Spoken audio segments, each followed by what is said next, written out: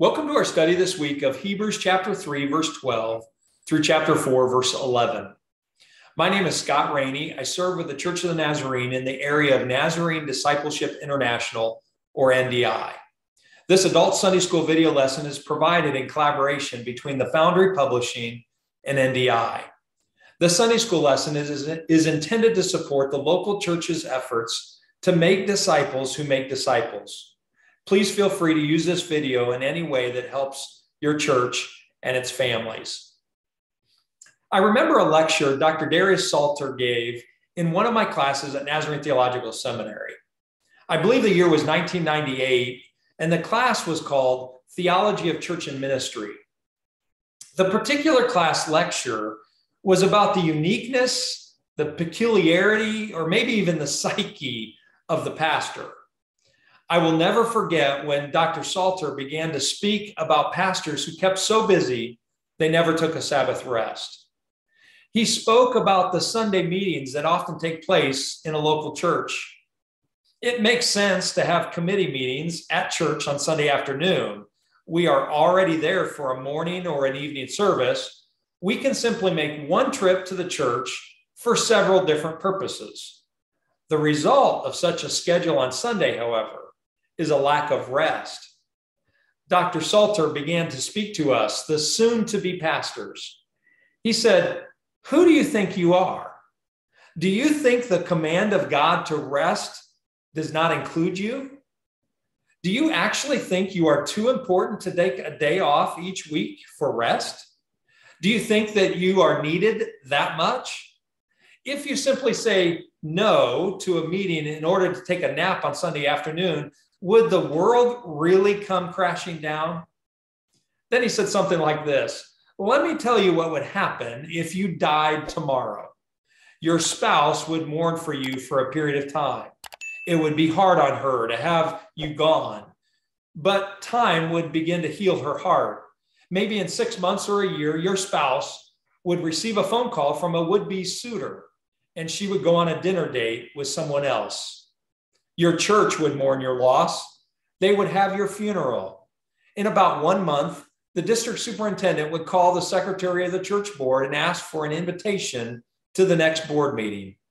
The board would talk about you, how much they miss you, and how much they loved you. Then the DS would share a list of names who the board could consider for their next pastor. In a few months, the church would continue on with a new minister. Finally, Dr. Salter said, The world would move on without you.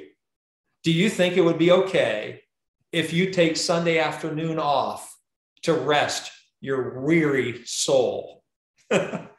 Maybe that illustration is a little dark, but it gets the point across well. God has instituted a Sabbath rest for his children. As we continue our study of the book of Hebrews this week, we enter a passage of scripture that speaks to the biblical concept of rest. The idea of rest is multifaceted, really. It's more than just taking a day off each week. The concept of rest is rooted in God's creation week. It finds itself in the Ten Commandments. There is a spiritual element to the idea of rest. Rest can be something we look at in the past, in the present, and in the future. There are a couple of questions we might even find ourselves asking. How can we enter into God's rest? And when does God intend for us to experience such rest? So let's see what the writer to the Hebrews has to say about such things.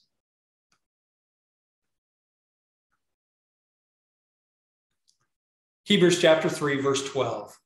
See to it, brothers and sisters, that none of you has a sinful, unbelieving heart that turns away from the living God, but encourage one another daily, as long as it is called today, so that none of you may be hardened by sin's deceitfulness.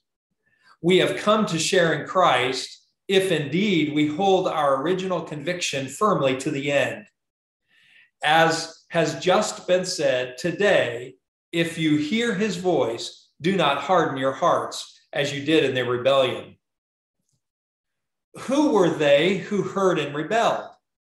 Were they not all those Moses led out of Egypt?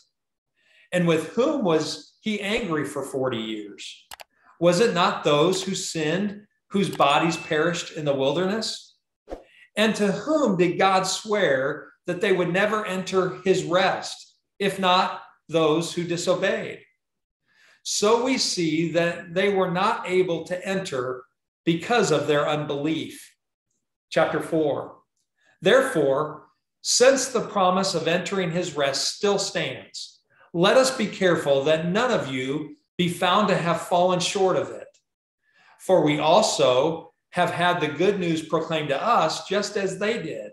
But the message they heard was of no value to them because they did not share the faith of those who obeyed. Now we have, we who have believed, enter that rest, just as God has said, So I declared on oath, in my anger, they shall never enter my rest. And yet his works have been finished since the creation of the world. For somewhere he has spoken about the seventh day in these words On the seventh day, God rested from all his works. And again, in the passage above, he says, They shall never enter my rest. Therefore, since it still remains for some to enter the re- that rest, and since those who formerly had the good news proclaimed to them did not go in because of their disobedience, God again set a certain day, calling it today. This he did when a long time later he said he spoke through David as as in the passage already quoted today if you hear his voice do not harden your hearts for if Joshua had given them rest God would not have spoken later about another day there remains then a Sabbath day, a Sabbath rest for the people of God. For anyone who enters God's rest also rests from their work, just as God did from his. Let us therefore make every effort to enter that rest so that no one will perish by following their example of disobedience.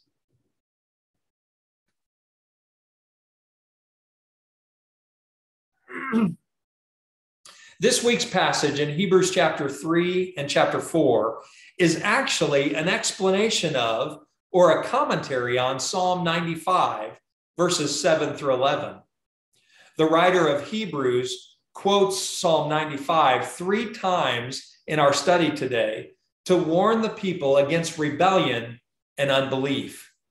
To fully understand this, I want to take us back to Israel's history in Egypt. For 400 years, Israel was in slavery in Egypt. Pharaoh's tyranny over the Israelite slaves was vividly presented in the book of Exodus. Exodus chapter 1, verse 13 says that Pharaoh worked them ruthlessly. A primary feature of tyranny is that the oppressed are denied the opportunity for rest. The Israelites were oppressed and had no rest. When God forcibly loosened Pharaoh's grip on, on Israel, God allowed, even commanded Israel to observe a weekly Sabbath of ceasing work to rest. This was a perpetual reminder that God is not a tyrant, but a loving and gracious emancipator who gives both the gift of work and the gift of rest. The promised land, Canaan, was to be the place of rest for God's people as they left Egypt. As you know from Israelite history, the people of God victoriously and miraculously came out of Egyptian bondage. They traveled to the Jordan River. 12 spies scouted the, out the promised land for 40 days. In fear of the Canaanite people living in the land, the Israelites did not believe that the same God who had delivered them from Egypt could also take them into the promised land. So instead of entering the place of rest, because of their unbelief and, and disobedience, God sent them back into the desert for 40 years. Numbers chapter 14, verse 34 says, For 40 years, one year for each of the 40 days you explored the land. You will suffer for your sins and know what it is like, what it is like to have me against you. The Israelites of Moses' day had fallen into the sin of unbelief. Christian readers who read the letter to the Hebrews must avoid the same path of disobedience. As you can see from Hebrews chapter 3, verse 12, the writer to the Hebrews considered an unbelieving heart as the root cause for disobedience, sinful behavior, and eventually a person's turning away from God. The Apostle Paul said in Romans chapter 14, verse 23 everything that does not come from faith is sin. Hebrews chapter 11, verse 6 says, without faith, it is impossible to please God. So, in the end, if someone is struggling to obey God, the root cause is a lack of faith. Here's the point there's a direct connection between believing and obeying. The songwriter John Sammis wrote, When we walk with the Lord in the light of his word, what a glory he sheds on our way. While we do his good will, he abides with us still and with all who trust and obey. Trust and obey, for there's no other way to be happy in Jesus but to trust and obey. The author of Hebrews then instructs us to encourage one another daily, according to Hebrews chapter 3, verse 13. The word today emphasizes the critical opportunity of the moment for the believers to admonish and encourage one another. Satan's primary weapon is deceit. John chapter 8, verse 44 calls the enemy the father of lies. The audience of Hebrews struggled with the deceitful lie that their situation, their persecution by both the Jews and the Romans, would improve by rejecting Christ and returning to Judaism. Interestingly, it was this same lie that caused the Israelites to rebel against Moses in a belief that life would somehow be better if they simply went back to Egypt. It's important for us to remember that unbelief is never just a personal issue. Corporate faithfulness requires every one of us to watch out for another's spiritual well being. No one in the community of faith can become self satisfied and desensitized to the danger of spiritual drift. So we must encourage one another every day so that no one is hardened by sin's deceitfulness. Hebrews chapter 3, verse 14 brings all of this back to Christ. We share in Christ, this verse says, if we hold our original conviction to the end, if we continue believing and obeying to the end. Sure, a person enters into a saving relationship with Christ by making an initial commitment of faith and trust in Christ for salvation. The faith that brings final salvation, however, is not momentary mental assent. True saving grace is characterized by the ongoing action of holding firm to one's commitment to faith and obedience to Christ to the very end. Hebrews chapter 3, verses 15 to 19 the writer moves us back once again to the day of Moses. We're reminded that Moses led the people out of Egyptian slavery. But because of unbelief, they rebelled against God and did not trust him. Therefore, they were not allowed to enter God's rest, and they died in the desert. As we begin into Hebrews chapter 4, we learn the good news. The promise of entering his rest still stands the people of the wilderness had failed to possess the inheritance due to their unbelief. But the promise of rest was still valid for their children who later did enter the promised land. And that promise of rest is still available to anyone who believes today. We'll come back to that in just a little bit. The author of Hebrews once again points to the responsibility of the believing community for one another. Hebrews chapter 4, verse 1 says, Let us be careful that none of you be found to have fallen short of it. That is the promise of entering his rest. Let us be careful can be literally translated from the Greek, let us fear. The Hebrew believers should have a fearful concern for any member who might fall short of God's salvation and victory in Christ. Hebrews chapter 12, verse 15 says it this way See to it that no one falls short of the grace of God. This is a church that's willing to risk, to give their life away, so that everyone continues in the faith of obedience. This means having the loving yet tough conversations that need to happen along the way of discipleship. this is dealing with sin and disobedience with honesty for the sake of the brother or sister, not with fear and trembling over their possible response, but with fear and trembling over the reality for the wayward believer if they do not hold on to the promise of God. Hebrews chapter 4, verses 2 and 3 reveals the answer to the, this, to the important question who may enter God's rest? First, it is not just the person who hears the good news. The author reminds the reader that both the Israelites of old and the Hebrews in the early church had the good news proclaimed to them, according to verse 2. The Israelites in Moses' day heard the good news of God's rest but they did not believe and they rebelled against the Lord. So hearing the good news alone is of no value. The crucial factor is whether the good news is accepted by faith and obeyed. The writer of the Hebrews again draws the connection between faith, obedience, and entering the desired rest of God. The message of the gospel has no redeeming value unless the hearers accept the message by faith and obedience.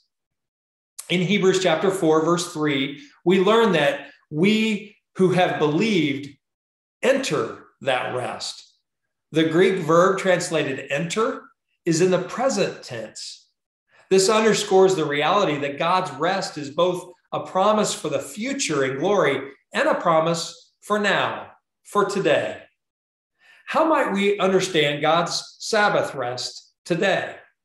To answer that question, let's move to the last segment of our passage for this week. Both in ancient Israel and for God's people since, God's gift of Sabbath is precious. God intends the Sabbath day not merely as a passive ceasing from work, but as a positive rest. A regular weekly Sabbath gives us time and space to acknowledge and experience our life as God's created and redeemed children. God does not want us obligated to human tyrants who always require labor in the times, places, and circumstances of the tyrant's fixing. Rather, God intends human flourishing in healthy and fulfilling rhythms of work and rest. Jesus himself affirmed this in his invitation in Matthew 11 28 Come to me, all you who are weary and burdened, and I will give you rest. But the Christian version of the Sabbath rest goes deeper than simply ceasing work, going to church, and taking a nap. The author's major point in our passage this week is that God has a bigger, better, deeper rest for all who will accept it by faith. That rest is available today for anyone who would believe and obey. The most famous prayer in St. Augustine's Confessions asserts this You have made us for yourself, and our heart is restless until it rests in you. For the one who's lost in sin, hear me today. There is a rest that is only found in Christ. You can experience this rest today by putting your trust in Jesus as your Savior and Lord. There is a rest that comes in conversion that transforms a life. follow him in obedience today. God's rest includes salvation. Charles Wesley's hymn, Love Divine, All Loves Excelling, prays these words Let us all in thee inherit, let us find that second rest. What is this second rest that Charles Wesley spoke of? Theologians and pastors in the Wesleyan tradition have preached that today's rest includes the state of purity and holiness in the lives of true believers, according to H. Orton Wiley. Some have called entire sanctification the rest of faith. That is a complete and total surrender of trust in God, resting fully in Him. This is the second work of grace, a place of rest in the heart of the one who follows Jesus in full surrender to the will of God, filled with his Holy Spirit and heart cleansed. 1 Thessalonians chapter 5 verse 23 and 24 says, "May God himself, the God of peace, that sounds like rest, sanctify you through and through. May your whole spirit, soul and body be kept blameless at the coming of our Lord Jesus Christ. The one who calls you is faithful and he will do it." God's rest includes entire sanctification. Hebrews chapter 4, verse 10 seems to give us one more aspect of God's rest, a heavenly view. The author says, For anyone who enters God's rest also rests from their works, just as God did from his. The Sabbath rest can also refer to the time when the struggle of this present life, the effort of running the race set before us, Hebrews chapter 12, verse 1, and the pursuit of peace and holiness, Hebrews chapter 12, verse 14, will reach their ultimate goal in heaven. There is a Sabbath rest that all who believe will one day enter. God's rest includes our glorification when we all go to heaven as Christian believers. When we started, I shared that rest was multifaceted. To understand it best, we must take a little walk through history. Rest has its origin in God from the days of creation, Genesis chapter 2. Moses passed on the command of God for a day of rest to remind the Israelites that he had freed them from tyranny, Exodus chapter 20. Years later, King David reminded the Israelites that they truly wanted, if they truly wanted to enter God's rest, they must believe on the Lord and live in obedience to him. Psalm chapter 95. In the early church, Hebrew believers connected the importance of faith, obedience, and entering the rest of God that was available now. Hebrews chapters 3 and 4. The promise of entering his rest still stands for you and me today. If we will believe on Jesus, walk in obedience to him, and keep on believing to the end. And there is more good news. There is coming an eternal rest that is heaven for all those who believe. You can experience his rest in salvation and sanctification today. And that rest will last for eternity.